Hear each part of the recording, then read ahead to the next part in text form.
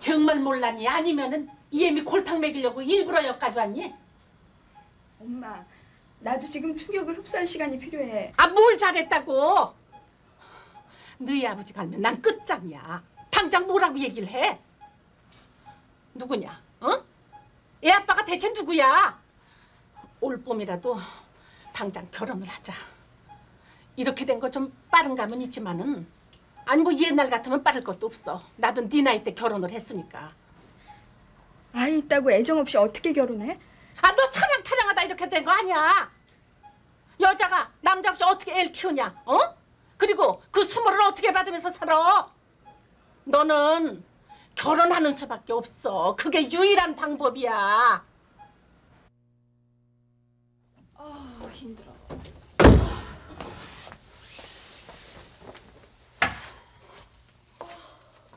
가시게요?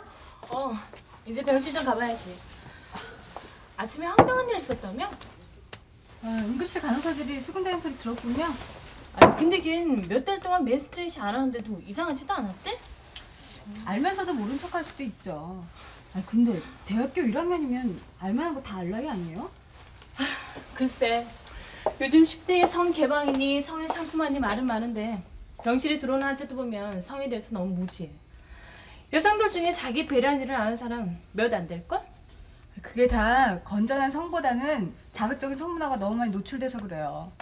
아 한참 좋을 나이에 애기엄 아 끔찍해. 아.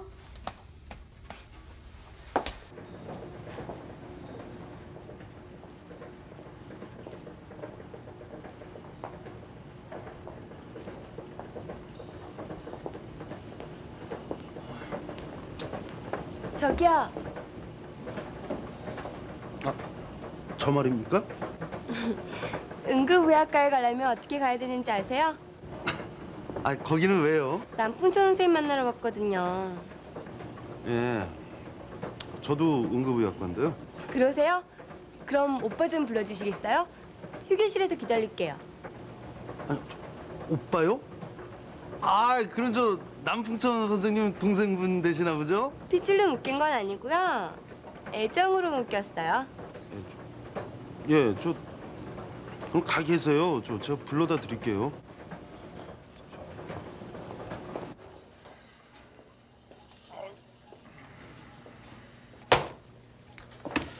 나만 자리를 비우면 딴 점 부리는 것 같아요. 화이트는 화장을 몰래다 다시 지나왔어요. 아휴, 참 꼴에 여자 보는 눈 있어가지고 정말. 뭐라고요? 사람이 말이에요. 좀 양심이 있어야 되는 거 아니에요? 아이고, 저 주름 그 나이에 한 10년은 차이 나겠더라. 아니 뭐가요? 뭐긴 뭐예요. 휴게실이나 가봐요. 내가 말이에요. 그 여자 얼굴이 이뻐서 그냥 이만큼 봐주는 거예요. 아니 여자라뇨? 가봐요 휴게실에 오빠 오빠 찾는 여자가 있을 테니까. 안 갈 거예요? 아 예.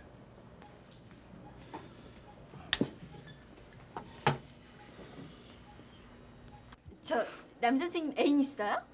사람이 말이에요. 뒤로 내수는 다 떨어요. 참. 아 근데 제주도 좋지. 아니 맨날 벌떡 먹으면서 어느 시간에 나가서 여자를 만났지?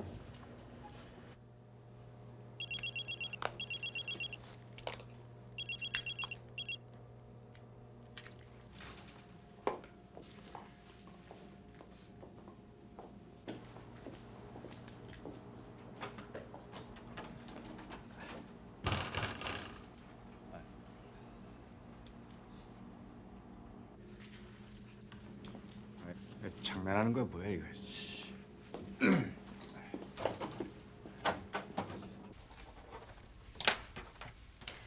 시대는 자꾸 성개방 추세로 가는데 우리나라 같은 가부장 제도에선 아직까지 일방적으로 여성들에게만 정절을 강요해요. 그러다 보니까 어, 결혼의 방법을 임신한 여자들이 자꾸 숨기고 수치심을 느끼고 점점 미혼모가 늘어가는 거예요. 아니 그럼 과장님은 김채연 환자가 숨기고 있었다고 보세요? 아님 인정하고 싶지 않았던죠? 아유, 애 아빠는 아예 보이지도 않더라고요. 보여도 그 또래 남자일 텐데 그 나이는 가정을 책임지기엔 너무 가벼운 나이예요.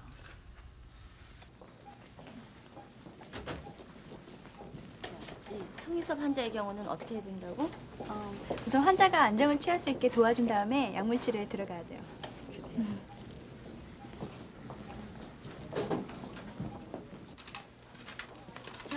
그럼 두 사람 수고 좀 하고 있어요. 네.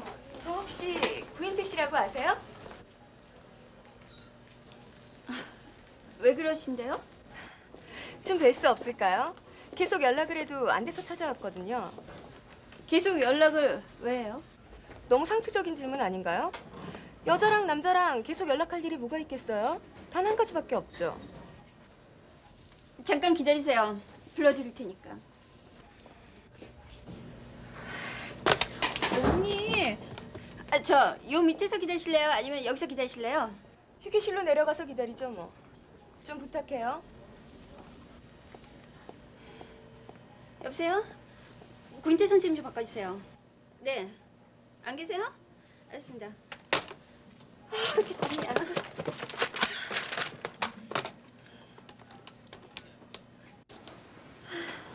왜 연락이 안 올까요? 병원 내엔 없나 봐요. 내가 휴게실 갔다 올게. 언니, 같이 가요. 그저 만만치 않겠던데요? 이선념, 나도 마상미야. 이대로 지진 않아.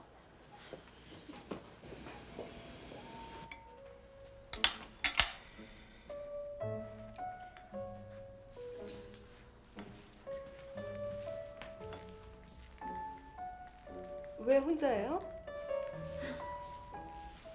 병원은 안 계신가 봐요. 음, 오프라 퇴근하셨나 본데요. 집에도 개인 호출기도 다 안 받아요. 누군진 모르지만 우리 인태 씨한테 관심 있어요? 너무 많은 걸 알고 있는 것 같군요. 전 그냥 같은 병원에 근무하는 사람이에요. 그래야죠. 우린 이미 결혼까지 약속한 사이니까요.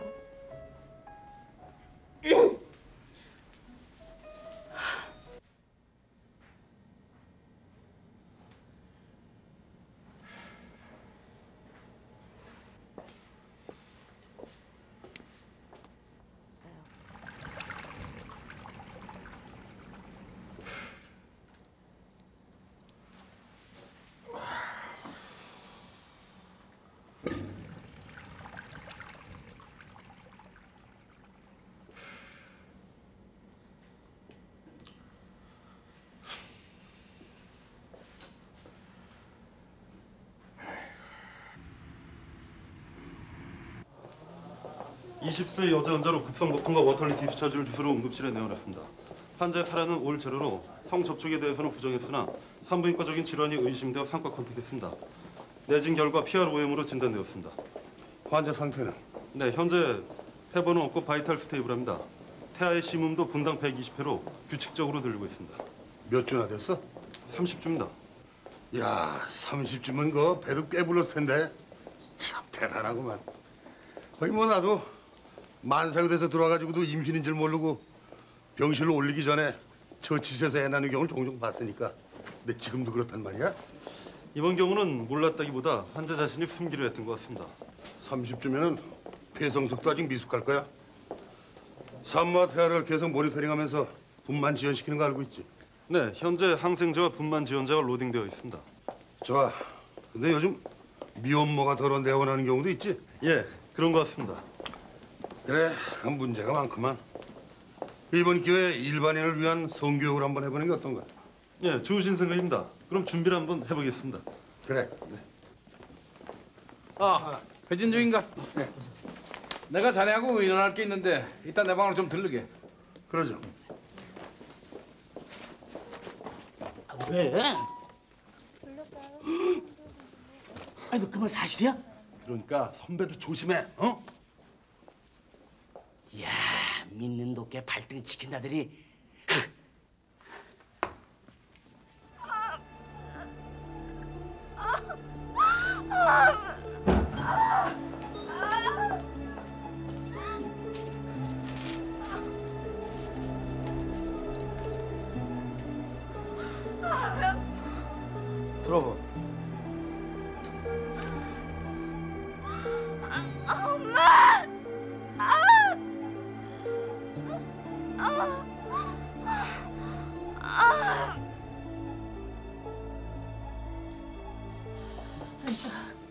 갑자기 왜 그러는 거죠? 네, 안정을 취하고 있는데 진통이 더 심해졌어요. 초음파 했더니 양소 과소증이 있고 태반 혈액 순환 부전으로 아이가 위험한 상태까지 빠질 수 있습니다. 이런 상황에선 이 제왕절개로 애를 낳는 게 좋겠는데요. 제왕절개요? 그렇지 않으면 아이가 저산소증에 빠질 수 있어서 아이의 생명이 위험합니다. 우리 애는요. 산모한테는 큰 위험이 없을 수도 있겠지만 아이의 생명이 위험합니다. 수술하셔야 됩니다. 안 돼요 수술은. 예? 수술은 절대 안 돼요. 아 그럼 아이의 생명이 위험하다니까요? 잔인하다고 말해도 좋아요. 차라리 잘 됐어요. 걘 아무도 원하지 않는 생명이에요. 전 아직 애비가 누군지도 몰라요. 아, 아니 제 말을 못 알아들으신 모양인데요. 그냥 놔두면 아이가 위험해요. 그건 제가 바로 원하는 일이에요. 우리 채은이만 무사하면 돼요.